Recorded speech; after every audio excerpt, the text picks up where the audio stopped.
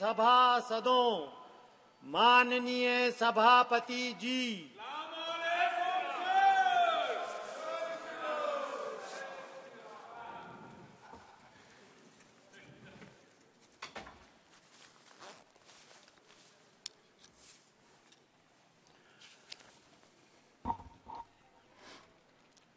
नियम 377 के अधीन सभा पट पर रखे जाने वाले मामलों के संबंध में अध्यक्ष पीठ द्वारा की जाने वाली घोषण।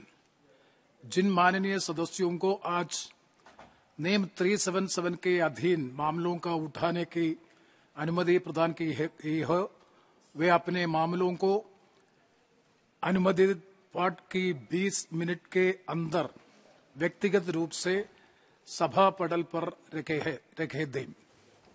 धन्यवाद। आइटम नंबर 18 और 19 श्री इम्तियाज़ जलील शुक्रिया, आपने सप्लीमेंट्री डिमांड्स के ऊपर मुझे बोलने का मौका दिया है। मैं महाराष्ट्र के एक मराठवाड़ा इलाके से आता हूँ, जिसे हम सुसाइड कैपिटल ऑफ़ इंडिया भी कह सकते हैं। उसकी वजह यह है कि आप जब सरकार के अंदर आए थे तो आपने ये दावा किया था कि हम किसानों की आय दुगनी करेंगे। लेकिन दुगनी होने की बजाय उनकी आत्महत्या किस तरीके से दुगनी, तिगनी और चौगनी हो गई है, ये आंकड़ों के साथ मैं बताना चाहता हूँ। हिंदुस्तान का एक बहुत छोटा सा क्षेत्र है, सिर्फ़ उसी के आंकड़े में बताना चाहता हूँ मराठवाड़ा के। और इस मराठवाड़ा के क्षेत्र में जनवरी से लेकर नवंबर तक नवंबर तक एक हज़ार किसानों ने आत्महत्या की है, जिसके अंदर औरंगाबाद, जो मेरा चुनावी क्षेत्र आता है 160 किसानों ने आत्महत्या की, नांदेड़ में एक किसानों ने बीड़ में दो सौ तिरपन किसानों ने उस्मानाबाद में 161 किसानों ने ऐसे कुल मिलाकर सिर्फ़ एक छोटे से क्षेत्र की अगर हम बात करें तो 1000 किसानों ने आत्महत्या की, की है। मैं आपसे ये पूछना चाहता हूँ कि अगर हम किसानों के बारे में इतनी बड़ी बड़ी बातें करते हैं तो आखिर ये किसान इतनी आत्महत्या कैसा कर रहे हैं? और सिर्फ़ एक चुनाव छोटे से क्षेत्र के बारे में मैं बात कर रहा हूँ। अध्यक्ष महोदय, आप ये नारा लगाते हैं कि सबका साथ, सबका विकास। आप मेरा विकास कैसा कर रहे हैं मैं आपको बताना चाहता हूँ आंकड़ों के साथ। आप इस फाइनेंशियल ईयर में budgetary allocation for ministry of minority affairs को कितने परसेंट से घटाए हैं? तो 38.3 परसेंट से आपने माइनॉरिटी का बजट घटाए है। 2023-24 का जो बजट एस्टिमेट था, वो 5020 करोड़ रुपए था। उसको कम करके आपने 3000 3097 करोड़ कर दिया। मुझे मालूम है कि आप हमें थोड़े थोड़े दिनों के बाद खुश करने के लिए नई नई स्कीम्स लेके आते हैं।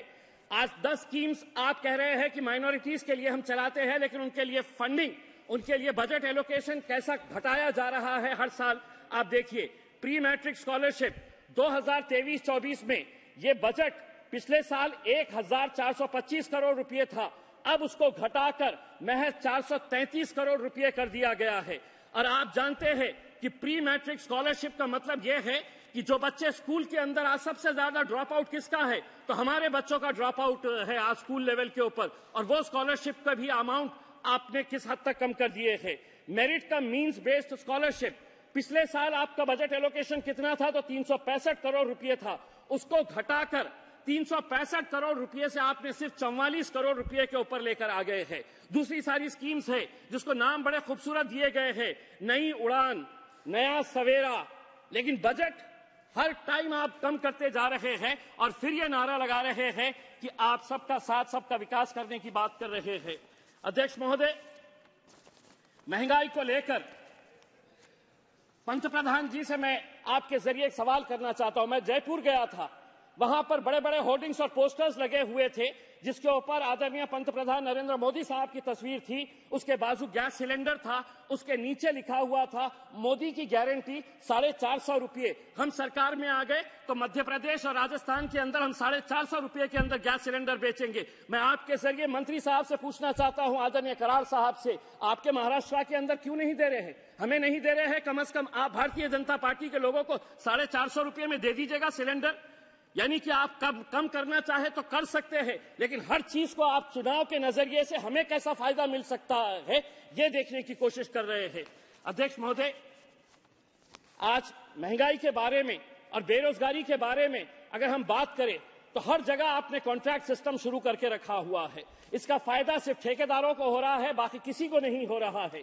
ईपीएस 95 के जो पेंशनर्स है, जिन्होंने 20 साल 30 साल काम किया है, आपने भी कई मरतबा इस मुद्दे को उठाए हैं। वो पूरे के पूरे यहाँ पर कल से जंतर मंतर के ऊपर आंदोलन कर रहे हैं। उन्हें पेंशन कितनी दी जा रही है? फाइनेंस मिनिस्टर साहब, सुनिए आठ सौ रुपये, हज़ार रुपये, बारह सौ रुपये, पंद्रह सौ रुपये, ये पेंशन अमाउंट उनको हर महीना दी जा रही है और उसके ज़रिए उन्हें ये कहा जा रहा है, इतने पैसों के अंदर अगर जी सके तो जियो, नहीं तो मरो, शोर मचाते क्यों हो? दूसरी बात यह है, अध्यक्ष महोदय, आप गवर्नमेंट रिसीव और कुछ आंकड़ों के साथ मैं बताना चाहता हूँ। अगर पिछले साल की अगर हम तुलना करें, अप्रैल, अक्टूबर, बाईस, तेईस जीएसटी कलेक्शन अगर पिछले साल की तुलना उसी पीरियड के अंदर अगर इस साल करते हैं तो जीएसटी ड्रॉप हुआ है सेवन परसेंट इनकम टैक्स का ड्रॉप हुआ है दो परसेंट कॉरपोरेशन का ड्रॉप हुआ है कॉरपोरेशन टैक्स का पाँच परसेंट टोटल ड्रॉप अगर एवरेज निकालते हैं तो पाँच परसेंट का ये गवर्नमेंट रिसीप्ट का हुआ है. उसके तुलना के अंदर अगर एक्सपेंडिचर अगर देखेंगे सेम पीरियड के अंदर तो revenue expenditure less by one percent capital outlay less by four percent तो हमारा आपसे ये कहना है अध्यक्ष महोदय कि इस सप्लीमेंट्री डिमांड्स के ज़रिए आज डिफेंस के बारे में ग्यारह हज़ार आठ सौ सत्तावीस करोड़ रुपए का सप्लीमेंट्री डिमांड रखा गया है। हम आपसे पूछना चाहते हैं आपकी चाइना की पॉलिसी क्या है? 25 पेट्रोलिंग पॉइंट्स हम खो चुके हैं। डेमचोंग डेमसोंग हमारे हाथ में है क्या? इसका जवाब आप दीजिएगा।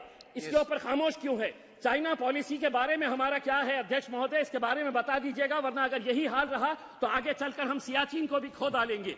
आखिरी पॉइंट एक बताना चाहता हूँ। एक्सटर्नल अफेयर्स का बजट आपने सप्लीमेंट्री डिमांड्स के अंदर रखा है, ग्यारह हज़ार बहत्तर करोड़। मैं आपसे पूछना चाहता हूँ कि वेस्ट एशिया की पॉलिसी इस देश की क्या है, ये देश को बताइए।